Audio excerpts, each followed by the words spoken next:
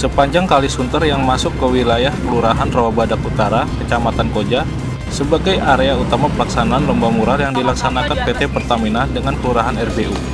Ada 10 tim yang berkompetisi untuk merebutkan piala dan hadiah utama. Tahun ini kita berinovasi melakukan hal-hal yang baru dengan melibatkan masyarakat dan stakeholder dalam menata lingkungan, Tanggul Kalisunter sebagai media publik yang rawan dengan aksi vandalisme. Oleh karena itulah diadakan kegiatan lomba mural yang menjadi wadah implementasi kreativitas.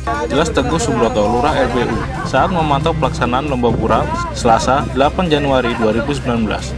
Lukisan mural dengan tema lingkungan tersebut menghiasi sepanjang Tanggul Kalisunter, Kelurahan RBU. Ada 1,2 km panjang Tanggul Kalisunter kita gunakan 50 meter untuk area melukis mural. Corak warna-warni dan himbauan untuk selalu menjaga kebersihan lingkungan tersaji dalam pesan mural yang dilukiskan oleh komponen masyarakat RBU. Tim Liputan Kominfo Jakarta Utara melaporkan.